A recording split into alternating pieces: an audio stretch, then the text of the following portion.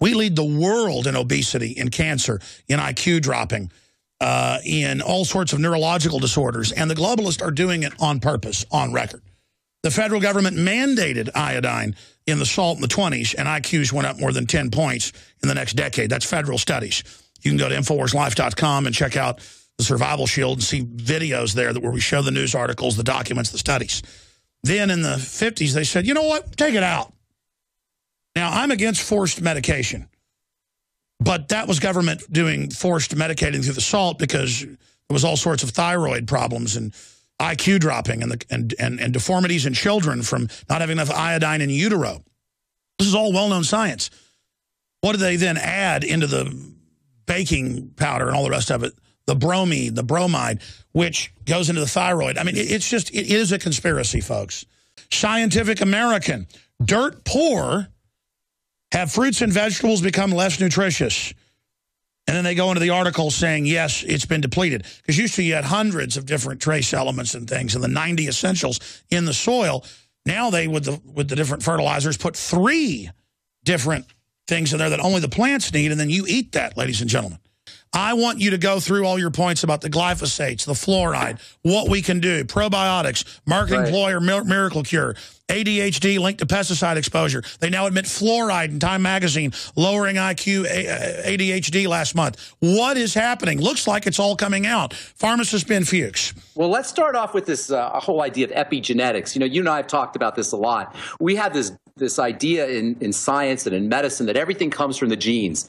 Scientists call it the central dogma. You know, the word dogma means something that you believe without evidence. Religious religions usually have a dogma, but science has dogmas too. And one of the major dogmas in science is something called the central dogma, which says that everything comes from genetics. This is in the interest of the pharmaceutical companies because then they can come out with drugs that manipulate the genetics. And indeed, if you read the pharmaceutical trade journals, you'll see that this is the great push in terms of medicine is finding uh, finding drugs that can actually affect uh, uh, work with changing the genes or targeting the genes to, uh, to, to target specific disease states. However, as it turns out, the central dogma is wrong because there are nutritional factors and lifestyle factors that turn genes on and off. You and I talked about this a couple of months back when we talked about prophylactic mastectomies. Angela, uh, Angelina Jolie, for example, had her breast removed because she had a gene that uh, indicated that she may end up with breast cancer, completely ignoring the fact that that gene that causes uh, breast cancer to either come on, uh, to, to, either occur or not occur,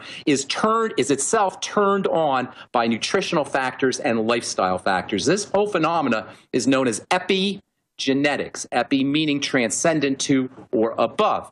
So the key to taking care of yourself, and this is so important because what it means is the, epi, the idea of epigenetics. What it means is we can take care of ourselves. We don't have to worry about our heredity when it comes to whether you're going to get diabetes or autoimmune disease or, God forbid, cancer because epigenetics trumps genetics. And that means that we have a locus of control. We can control our epigenetics to an extent where we can't control our genes directly. We can control our genes in a secondary fashion by working with nutrients. Among the most powerful nutritional factors are, are, achieve their power via epigenetics, via turning genes on and off. For example, one of my all-time favorite nutrients is selenium. And uh, selenium, as you and I have talked about in the past, is amazingly anti-cancer. Selenium is amazingly anti-mercury, by the way, and anti-radiation as well. And selenium is, has particular protection against breast cancer and estrogenic diseases as well. So if you're concerned about, glyc- uh, about Roundup and uh, uh glyphosates and, and pesticides and gender bending and estrogenic chemicals in the water and in the air, it becomes imperative that you use these nutrients that manipulate the body epigenetically, like selenium.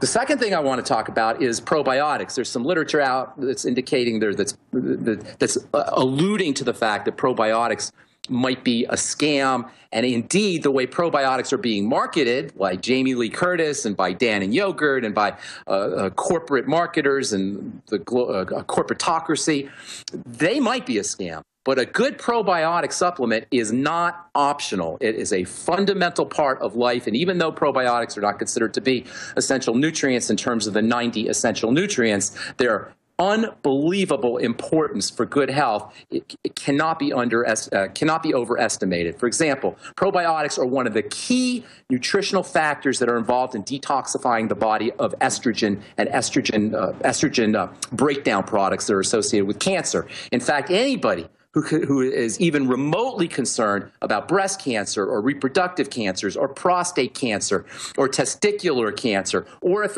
a woman is concerned about fibroids or cysts, or if women can't conceive, all of these are linked to problems with estrogen metabolites, using a probiotic is one of the great and underappreciated nutritional strategies for protecting yourself from estrogen. But when you're using a probiotic supplement, you got to be careful you can't use Jamie Lee Curtis and, and, and Dannon Yogurt nutritional, uh, nutritional strategies and nutritional products. You've got to use a broad spectrum probiotic, one that has multiple strains of bacteria, 12, uh, 14, 15 different strains of bacteria, and one that has lots of diff- uh, billions of units of bacteria in the order of 10 or 15 or 20 billion units of bacteria, in addition to eating fermented food, things like kefir and miso uh, tempeh, kimchi, anything fermented is going to provide you with probiotics. In addition to probiotics helping you process toxin, toxic estrogen, probiotics help you process cholesterol. They help you process blood fats. Probiotics make vitamins, like the B vitamins, for example, are produced by good bacteria.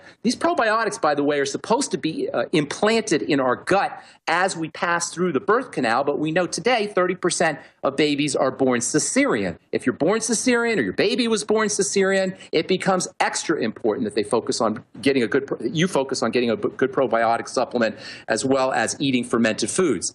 If a baby was not breastfed long enough, this can have a negative impact on probiotics. Also, if, you if your baby wasn't breastfed long enough, your baby baby wasn't breastfed at all, you may notice that your baby is colicky. Colicky comes from the word colon. This is why babies get colicky is because they have colon issues. Colon issues are almost always associated with problems with probiotics. So if you have a baby that has eczema, if you have a baby that has pimples or breakouts, if you have a baby that's colicky or has constipation, all of these are very common. I want to talk also about SSRIs, uh, ser selective serotonin reuptake inhibitors. You know, we talked earlier about how estrogens are anxiety promoting stress management hormones. Well, guess what? A lot of folks don't realize serotonin is the same way. We have been flooded with misinformation about serotonin being a happy hormone and being a hormone that helps improve your mood, et cetera. Everybody wants to make sure that, that their serotonin levels are high. Serotonin is, like estrogen, a stress management hormone. It is a vigilance hormone. It's an alertness hormone. And yes, it's important. It's clearly important. But what it's important for is helping the body handle the ups and downs, the vicissitudes, the survival threats that are part of being alive. And you need to have a certain amount of serotonin. However, you do not want to poison your serotonin metabolizing system to the point where you have too much serotonin. When you have elevations in serotonin, that's what the serotonin reuptake inhibitors do. They keep serotonin levels super high, artificially high. You end up with this pro-vigilant state, with this almost paranoia state. And what happens when people take the Prozacs and the Zoloft and the serotonin reuptake inhibitors, what can happen is that they can become paranoid. And that's why you have almost everybody, almost, uh, uh, almost all the people who are doing these school shootings and the psychiatrists, and the Navy psychiatrist who was doing this, who shot up the Navy base and people doing these crazy mass murder kinds of things, almost invariably, they're on a serotonin reuptake inhibitor, Alex.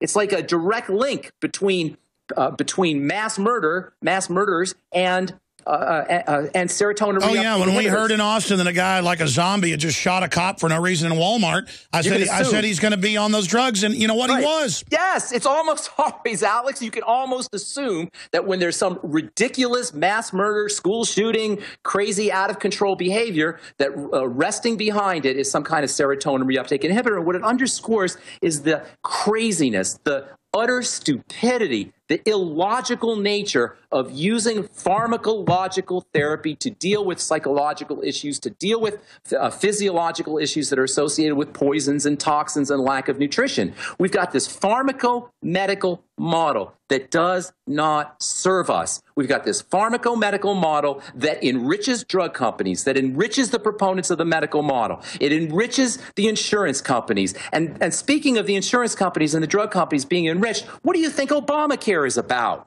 People, do you think Obamacare is in any way, shape, or form about taking care of your health, with the exception of perhaps major medical and traumatic, uh, traumatic, uh, uh, uh, heroic medicine helping heal from? It's openly about turning disasters. it all to drugs rather than medicine or real diagnosis, openly. Openly. and it's about death panels, and it's about doubling and tripling prices for insurance companies.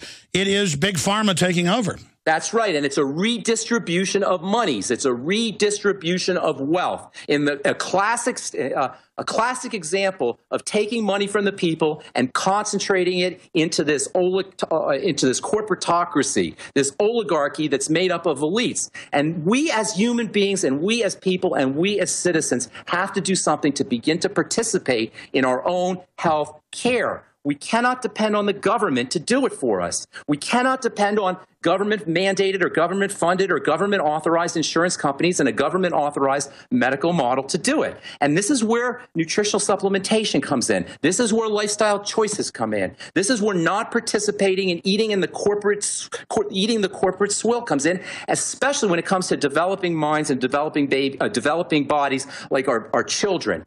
If, if it's important for us as adults to drive past, not drive through, it's extra important. And while it's easy to be glib about not going to McDonald's and not eating the fast food and not eating the drinking the soda pop, etc., it's difficult to use willpower to do it because these people who create these kinds of foods, they're smart.